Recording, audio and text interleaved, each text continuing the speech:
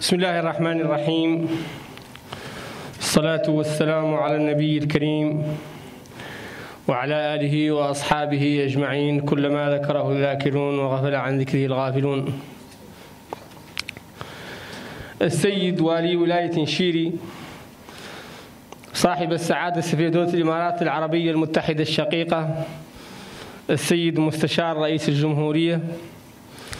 السيد رئيس المجلس الجهوي لولاية شيري السادة النواب المحترمون السيد عمدة قجوجة السادة المدعوون أيها السادة والسيدات كل باسمه وجميل واسمه.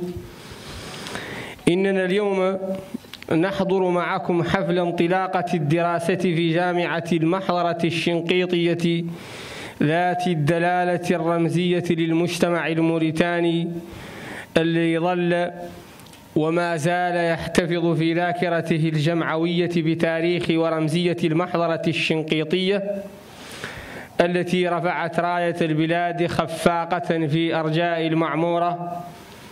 أيها السادة والسيدات إن من تعهدات فخامة رئيس الجمهورية السيد محمد الشيخ الغزواني في برنامجه الانتخابي هو الحرص على بناء مجتمع عصري يستمد قوته من القيم الإسلامية الأصيلة.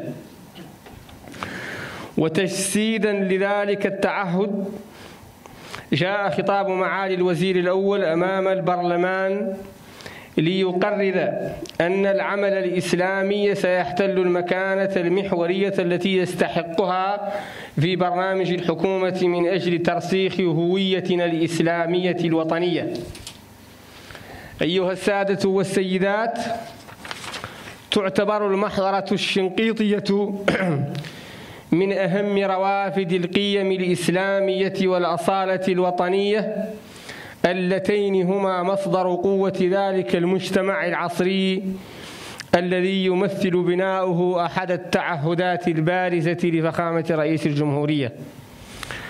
وإن ترسيخ الهوية الوطنية الذي يمثل تحقيقه أحد الأهداف الكبرى في برنامج الحكومة يتطلب حتما عناية كبيرة بالمحضرة واهتماما بالغا بتطوير مناهجها التربوية وانطلاقا من تلك المعطيات يأتي اليوم تدشين انطلاقة الدراسة في المحضرة الشنقيطية الكبرى باعتبارها إضافة نوعية للتعليم العالي بالبلد وأداة فعالة لتنفيذ سياسة الحكومة في مجال ترسيخ القيم الإسلامية والهوية الوطنية. وهذه فرصة ثمينة للتقدم بكامل الشكر والامتنان لدولة الإمارات العربية المتحدة الشقيقة حكومة وشعبا على الأداء والتقدير الأخوي الذي ظلت بلادنا موضعا لها موضعا له من قبلهم والذي تعتبر هذه المؤسسة أحد تجلياته الكثيرة.